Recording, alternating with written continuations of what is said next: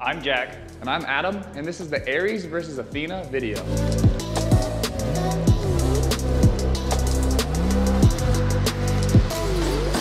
We're going to compare a dual-sided Athena with a lat low row attachment to an Ares. We'll start with the plate loaded. So the most obvious comparison is going to be cost. A dual-sided plate-loaded Athena with a plate-loaded lat low row attachment is going to be significantly cheaper than an Ares.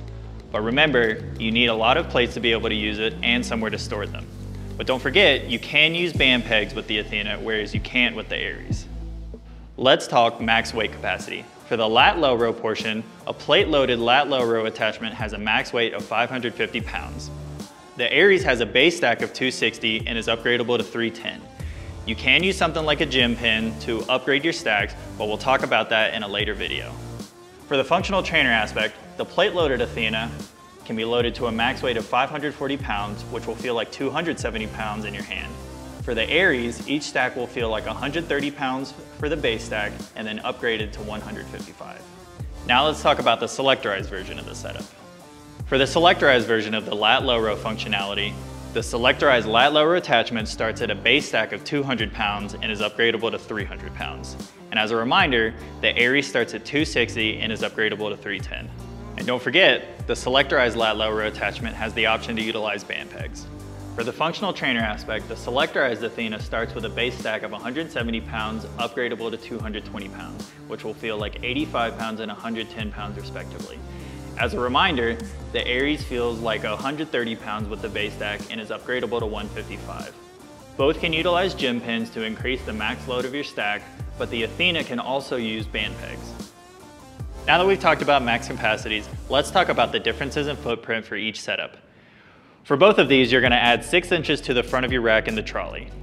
Now we're looking at a 4000 right now, which has the handle in the back, but the 5000 will have the handle off to the side, which will add five inches. Now here's where things start to get a little different. The Athena adds 1.8 inches to the top of your rack, whereas the Ares adds 1.2. But also note, the lat low row attachment is going to add 3.3 inches to the top of your rack.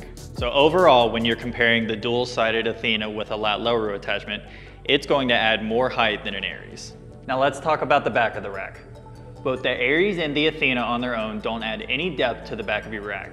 But if you're doing the dual-sided Athena with a lat low row attachment, the lat low row attachment will add 8.5 inches to the back of your rack for a 6 post and 27.5 inches for a 4 post. Now the band pegs that come with the Athena add 3.7 inches to the outside and the inside of your rack. If you have a 5000 rack, this is still less than the added width that comes from the handle, but if you have a 4000 rack, this is the amount that will be added to the width of your rack. So Jack just walked y'all through some of the main differences as far as pricing and footprint goes between an Ares and a dual-sided Athena with a lat pull down and low row. But I wanna talk about some of the main differences as far as functionality goes. The primary difference being on an Ares, you can do unilateral work on the lat pull down and unilateral work on the low row. If you're looking for a never need to upgrade cable attachment for your power rack, the Ares is the way to go. Talking heavy weight stacks, lat pull down, low row, and a full functional trainer, all built into one. Let's talk about assembly times. The Ares takes about two to 10 hours to complete, depending on whether or not you're doing it by yourself, with a friend, if you're trying to put it together quickly, or if you're just taking your time. It's a pretty involved process because it's a pretty involved product. The Athena, however, was designed intentionally so that it was much easier put together. It takes about one person, one to two hours per side to put together. One of the greatest benefits of the Athena is its customizability. You can do dual plate loaded, you can do dual selectorized, you can do one of each, you can do a left or right, you can do with it lat low row or without. It's your rack, you do it your way. Hopefully this video answered your questions about the Ares versus Athena. If you have any further questions, please reach out to our Colorado-based customer service team. And as always, thanks for watching.